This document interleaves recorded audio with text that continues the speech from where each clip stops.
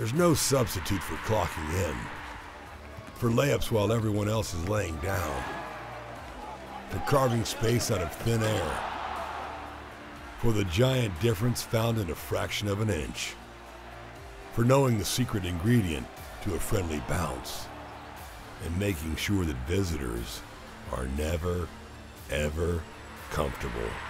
UCLA basketball, blue collar since 1919.